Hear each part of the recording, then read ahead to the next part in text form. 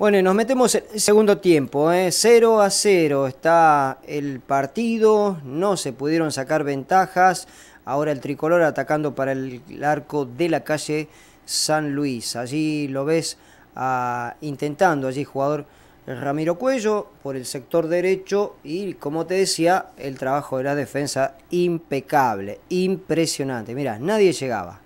Llegaban ahí y rebotaban las pelotas. No había modo de que nadie sacara ventaja. Gallardo, qué, qué gran momento que tiene este jugador el número, con la camiseta número 2, eh, jugando por el sector izquierdo en la defensa de Belgrano. Gran momento de Roberto Gallardo, eh. este chico de Guatimosín que está vistiendo la casaca de, de Belgrano Juniors y lo mismo marcar el resto de los jugadores. Pero este chico eh, que viene, es uno de los más peques que tiene el, conjunto de, de, Andrés Benavide, verdaderamente eh, se está llevando todos los aplausos de la, de la hinchada. Por parte del área, bueno, toda la línea defensiva, el trabajo de los Sismondi, de Cortés, verdaderamente un buen trabajo. La verdad que debemos tener las mejores defensas en este momento, en este año de la Liga de Canals y por algo el momento que están presenciando. Bueno, allí intentando Gentiletti, eh, buscando la pelota, no tenía mucha conexión. Eh, Belgrano tuvo que hacer mucho retoque, allí lo ves a Tolosa intentando eh, pelear esa pelota, vemos por el sector derecho nuevamente intentando salir, pero allí lo tenías a Gallardo, ¿eh? no había manera de pasar. Allí Belgrano conteniendo en todo momento, mucho trabajo de los laterales, mucho trabajo. La pelota vivía afuera también, el partido no fue bueno en líneas técnicas, pero sí fue sumamente táctico y nadie cometió errores. Allí lo ves a Brian Fernández escapar con uno de los balones, patea cuando se metía por el medio Gentiletti, ahí no la vemos en la toma, pero Gentiletti entraba por el medio, pero igualmente aplaudió esa jugada que intentó hacer, pues meter sorpresa el delantero de Belgrano. Allí el ingreso de, de un cambio, Ariel Castellano ingresa en el equipo de, y sale Lenti en el equipo de Almirón. Allí tratando de cambiar delantero por delantero, un poco de oxígeno poniéndole a la, a la delantera del tricolor. Allí lo ves, ahí va, patea el jugador de, de Belgrano que era Brian Fernández y la pelota que terminaba siendo eh, allí despejada. Nuevamente el conjunto de, del área Fútbol Club, allí lo tenés le pega de zurda y la pelota se va afuera. El Joa Beltramino no, no pudo darle dirección y precisión a ese remate. Allí lo tenés nuevamente jugando a Sismondi, tocando para Guzmán, que permanecía en cancha. Nuevamente allí, eh, atenti a esa, esa jugada. Allí la, la saca el, jugador de, de Belgrano, pero la pelota había sido, la saca de la línea. Nosotros estamos cerca de esa posición, pero el árbitro dice eh, eso fue eh, posición adelantada y anula la jugada. Allí el ingreso de Fopiani en el conjunto del área Fútbol Club, había salido Cuello por Fopiani y el ingreso en el, en el Belgrano también de eh, Federico González por Brian Fernández. Vemos nuevamente allí, bueno, un jugador caído. en, Belgrano el partido era por momentos tenía intensidad y por momentos no, no las tenía. Allí la amonestación a Beltramino de parte del árbitro del encuentro. Ya promediando el segundo tiempo, intentando Belgrano de ratos, no rifaba la pelota ninguno de los dos, los dos muy cautos a la hora del ataque, eh, prefirieron cuidarse mucho eh, a la hora de, de poder atacar allí el, juego, buscando por eh, derecha al jugador castellanos y, allí la defensa rechazando todo. Como te decía, nadie pasaba, ahí lo tenés, al jugador del área Foda Club, a Cortese, que en un momento con Federico González se habían, se habían cruzado. Eh, la primera que toca a González se le fue encima, allá. Un poco, bueno, lo que se suele hacer a veces las picardías que tiene, a veces sacás al jugador, al otro, y allí tenés a, al jugador González y la pelota que se termina yendo afuera. ¿eh? No sé si no fue en esa, el, el tole tole que había habido. ¿eh? La amarilla para eh, allí para Sismondi. ¿eh?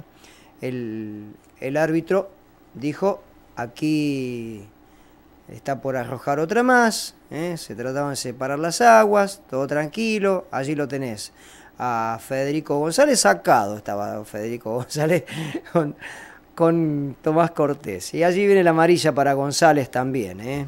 Ahí, ahí le, mostró la, la, amarilla al jugador de Belgrano. Bueno, el partido seguía. El partido seguía, los dos querían intentar a ver si podían perforar esa defensa y llegar con algo de chance para poder rematar al arco. Allí, bueno, allí lo tenías a el jugador castellano y la pelota que se la termina robando. Nuevamente, allí Belgrano tratando de llegar a través de de González, pero firme. La defensa del tricolor, Cortés, eh, Sismondi, no había manera de pasar.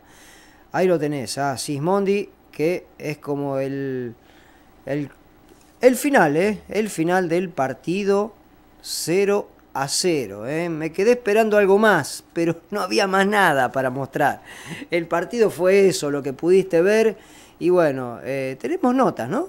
Eh, lo teníamos a, charlando al final del partido el arquero Nicolás Cironi analizando un poco el encuentro. Faltan 90 minutos.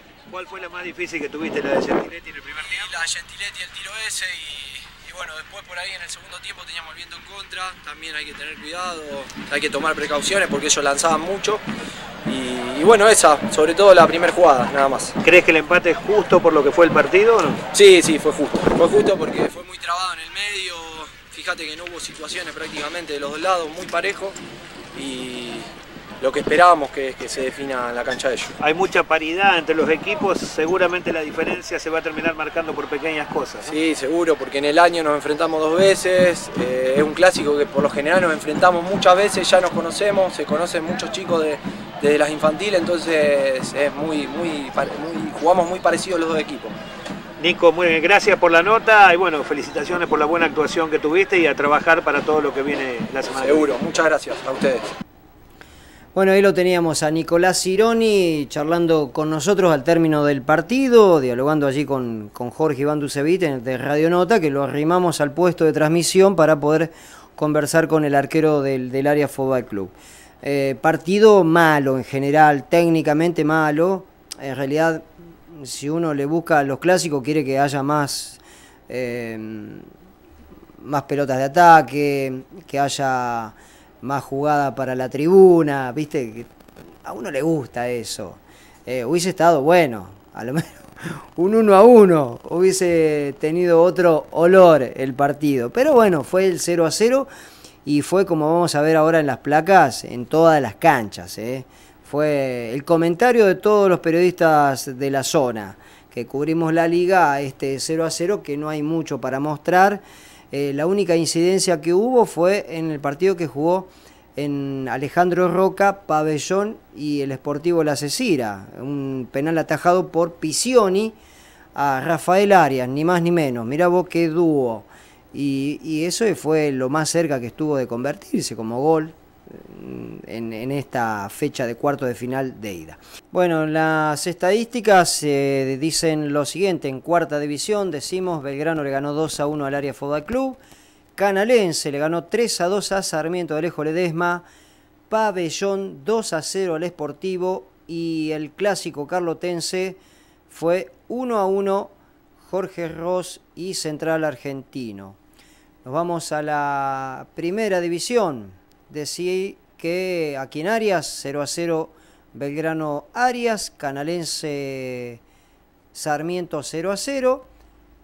Pabellón y el Esportivo también igualaron 0 a 0 con la incidencia que reiteramos del penal atajado por Cironi, perdón, por Cironi, por el, el arquero Pisioni del Esportivo a Rafael Arias, de, el goleador eterno que tiene el conjunto de Pabellón y 0 a 0 fue Colonia Jorge Ross de la Carlota. La próxima fecha se dan vuelta las localías, aquí en Arias, cuarta división, el clásico ariense, Belgrano Arias, Sarmiento Canalense, Esportivo Pabellón, Jorge Ross Central Argentino. Y en primera división será Belgrano Arias, Sarmiento Canalense, Esportivo Pabellón, Jorge Ross Colonia. ¿eh? Así que bueno, ahí está todo servido para el próximo fin de semana, el próximo domingo, aquí en Arias.